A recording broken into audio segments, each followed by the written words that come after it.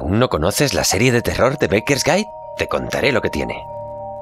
Solo se puede ver de noche. Ver terror a la hora del almuerzo no tiene gracia, así que ideamos la serie para que no puedas ver los capítulos durante el día. El terror hay que verlo de 8 de la tarde a 8 de la mañana. Pero tranquilo, hemos liberado los primeros capítulos para que los veas cuando quieras. Y si eres muy miedoso, tampoco te preocupes. The Becker's Guide no tiene tanto terror. Es más thriller con ciencia ficción, y lo que de verdad engancha es la historia. Cosmología. Olvídate de los fantasmas se quedan porque tienen asuntos pendientes. Todo lo que sabes sobre fantasmas es mentira. En The Becker's Guide hemos recreado un mundo paranormal diferente y original, con unas normas mucho más lógicas, que nacen de una idea muy simple. Si un fantasma no tiene cerebro, no puede pensar ni recordar. En la serie existe un libro llamado La Guía de Becker. En él te explican cómo sobrevivir a un encuentro con un fantasma. ¿Te gustaría leerlo? Lo tienes disponible gratis en iTunes y como audiolibro en YouTube. Tienes el link en la descripción. Rol en vivo e improvisación. Hemos grabado la serie con un método diferente de rodaje, con rol e improvisación. Nadie le dice a nuestros actores lo que tienen que decir. Localización.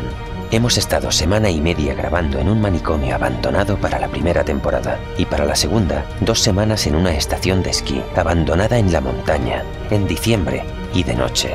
Te aseguramos por propia experiencia que el sitio era alucinante. Transmedia. O sea, que no solo están los capítulos, hay muchos extras para conocer más de la historia. De la primera temporada tienes los antecedentes, que son cuatro vídeos que te explican qué pasó antes del primer capítulo.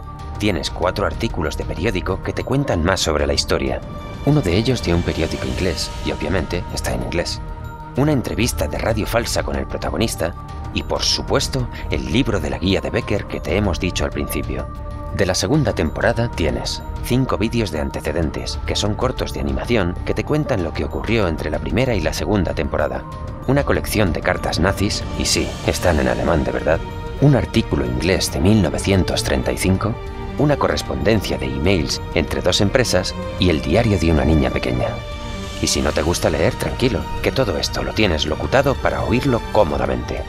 The Becker's Guide es una gran serie, con selecciones en festivales de Barcelona, Girona y Hollywood, entre otros. Pero sobre todo, es una serie hecha con mucho trabajo e ilusión que pretende hacerte pasar un rato entretenido y merece una oportunidad. Suscríbete a nuestro canal y entra en nuestra web para conocernos.